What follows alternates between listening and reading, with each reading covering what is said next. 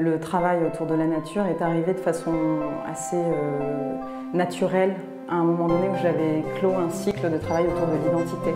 Et c'est à ce moment-là, en quittant mon propre corps comme moyen d'expression, que s'est initié un travail plus euh, sociétal, des questions donc, autour de l'écologie. Il y a eu un incendie euh, assez grave dans ma maison de famille, ma maison où j'ai grandi en fait.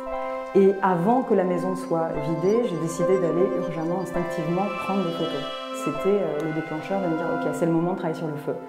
Mais le feu non pas dans, sa, dans son action vivante, mais plutôt dans la trace, la mémoire notre foyer qui se détruit. Ce foyer, c'est aussi notre, notre planète.